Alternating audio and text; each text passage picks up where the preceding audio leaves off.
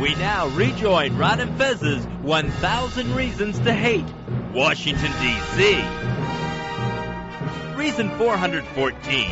Crackhead Marion Barry. Reason 415. Hail to the Redskins. They stink on ice.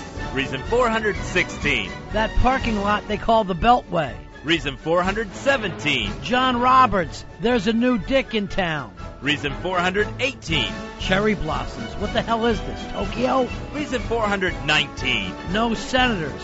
Losers. Reason 420. We all know it's really just Virginia.